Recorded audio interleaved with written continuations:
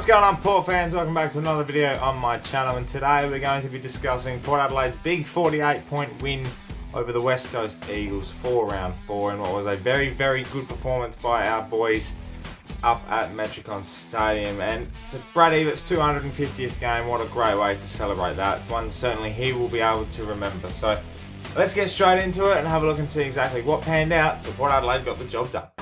It's a pretty good spot with the kick. Marshall's down there. Couldn't quite trap it in the hands. Off the deck, Ebert in the milestone game. 250, one against the grain. Unfortunately, I couldn't watch the match live due to uh, playing a trial match myself. So when I uh, heard the scores, I was a little bit surprised. I will be honest. I didn't expect us to win that convincingly. Actually, half a part of me actually thought well, maybe we won't win at all, but to come out the way we did and perform um, such a well executed game plan and such a well um, driven game plan as well. You know, our mindset was just a was a real positive mindset from the outset. Um, we were just constantly at the Eagles all day. There were a little bit of patches where the Eagles were coming back, especially in uh, that third quarter and um, during the second quarter as well. There was a little bit of a time where maybe they'd be uh, they'd be coming at us, but collectively as a group, there was no passengers on the day, and that's something I think we've um, missed over the last few years is the fact that we seem to have passengers even though we do win. And collectively at the moment, I don't think there's a single passenger in our side, and we've only made a couple of changes due to injuries throughout the last couple of weeks, and the consistency in the group at the moment is just fantastic to see, and whether or not someone doesn't quite stand up on the day, you know, someone else is going to. And I think that is the real positive um, of Port Adelaide at the moment is exactly that, is that consistency as a group and um, the strength of uh, our closeness and the relationships that we have. That's that's the core ingredient at the moment for Port Adelaide, and it's great to see that we can execute that on the field as well as off it. I've got to kick off um, this with talking about Charlie Dixon. Now, we've heard so much good things over the first bit of preseason that he was finally getting a full preseason under his belt. He was clunking everything in uh, training and he was just looking fit and firing, training with Chad Cornes. He comes out into the first uh, internal trial back in February and we're all thinking, geez, what's Charlie going to do today? What what what's he capable of? And he took it.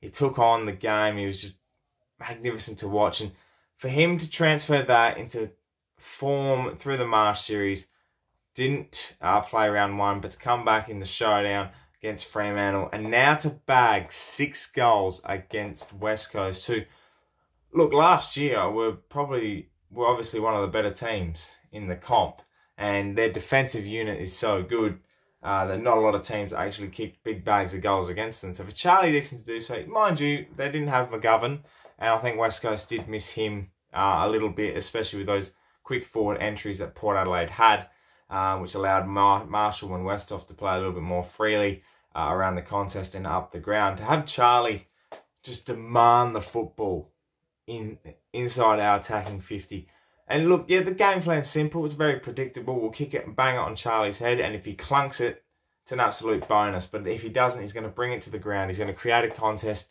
And it's going to give our smalls the best opportunity. You know, Rosie, Butters, um, Robbie Gray, if he's down there. You know, even the likes of Westhoff are going to crumb the ball. Our midfielders are going to be around there to, sell, uh, to set up um, another opportunity, another forward entry. So it's things like that that really create um, a predictable and simple game plan that a lot of teams do adapt to. But to have Charlie and his presence at the moment, King Charles is what we've nicknamed him. Dwayne Russell with that quote. What was the quote? The quote was, "You don't buy green bananas the week you're playing on Charlie Dixon." If that's if that doesn't make sense to you, then that's basically you need to be ready to go. Or green bananas, there's no point waiting for them to ripen up. So just an amazing performance from Charlie Dixon. Best on ground by a country mile to have 15 touches, multiple contested marks, and six goals for a bloke that doesn't normally kick a big bag.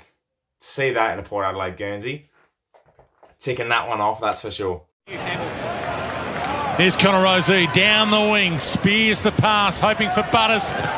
Landed like a cat, picked up to Sharon, heads to Boak. dances inside and launches goal square. Dixon, Dixon, Dixon.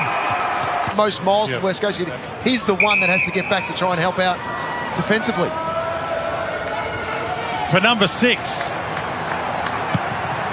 And in modern day terms, it is a bag. And he might have a career best coming in this last four minutes. Brad Ebert's 250th game. Personally, for me, produced what he has done for 250 games in that performance yesterday. His ability to continu continuously attack the football, attack the opponent, and um, pressurise uh, up forward is what he's been capable of doing forever. Um, his disposable obviously has been questionable, but his ability to win the football is just second to none. And I think the way he's just uh, been able to constantly keep it at that level for so long in 250 games, he produced it again against the Eagles yesterday, and it's just a credit to him. I think collectively uh, he'll be very pleased with that performance, and uh, it's a credit to him. So special job for Brad Ebert. So well done.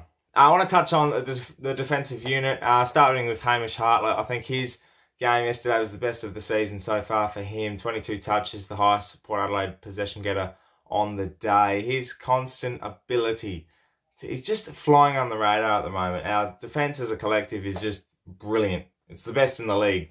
Um, but I think, you know, him and the likes of even Houston now chipping in back there Trent McKenzie's just been unreal. His first quarter against Darling was sensational. And that spoil going back with the flight is just something defenders craft.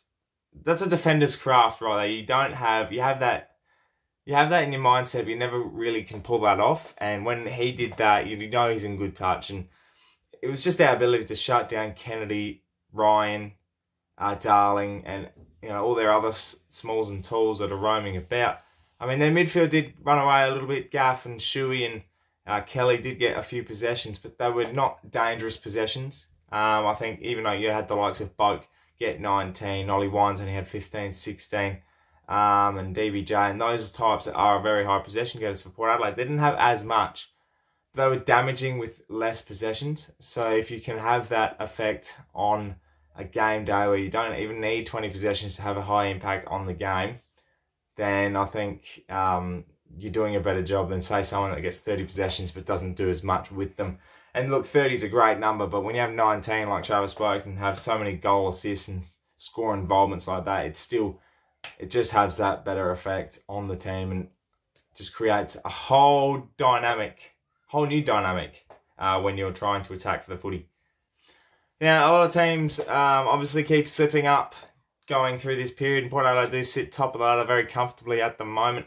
And I can see, you know, a lot of teams, as I said, they're slipping up. They're not beating teams they should. And it's a very un unpredictable season. So for us to be consistent and beat the teams we should, you know, obviously Gold Coast round one, they were, you know, pre-COVID, they were not uh, as good as they were now. And that's fine. Uh, the Crows are obviously rebuilding. And we played a Fremantle side that's pretty uh, consistent just not getting the results they'd like. And to play a West Coast that's very high quality and they're going to have multiple opportunities um, throughout a game of footy to attack and constantly put you under pressure. So for us to withhold that pressure and just beat a team that I think still has that respect about them that they are a top quality side in a bit of a form slump. And that's the thing. That was the main thing coming into this week for Port Adelaide is to take advantage of a good team that's having a bit of a form slump and don't put them back into form because that's something that Port Adelaide always seem to do. And to see that and to see our performance be so consistent, um, I think that's that's that's that, I don't know. That's something to me that says we're in this now. We're not just beating up the kids. We are taking every opportunity we can get. We've got Brisbane next week now. That's another big opportunity to say, hey, we're here this is Port Adelaide and this is what we're doing and this is how you're going to try and beat us. But we're going to take you on anywhere, anytime, anyhow. It does not matter. Dwayne Russell said that at the end when the siren went. So this is Port Adelaide at the moment and 4 0. It's a very, very good cushion to set up the next 13 games. However, they pan out, however, they're scheduled, we now got a very good cushion to leap off of going into the, uh, the, the meaty part of the season. Well, there you have it, Port fans. That is the review of round four against the Eagles, a 40 48 point win, starring Charlie Dixon, six goals. King Charles as he's been newly nicknamed. Look, it was a simple performance, I think, from Port Adelaide to sum it up. You know, we didn't do too anything drastic. We just stuck to our structures, played the game so well, and our defensive unit was just so good. Um, and to see Charlie kick six goals is amazing. So I definitely tick approval for that one, and we're certainly looking good going into next week against the Lions, is going to be an even better performance. But right now, I'm going to soak it up and enjoy what's been a very, very good weekend for Port Adelaide. So thank you very much for watching. Make sure you subscribe to the channel if you're new for plenty more Port Adelaide content. Let me know in the comments below what you thought of round four and this week's game and what should we do for round five. My name is Anthony and as always, can the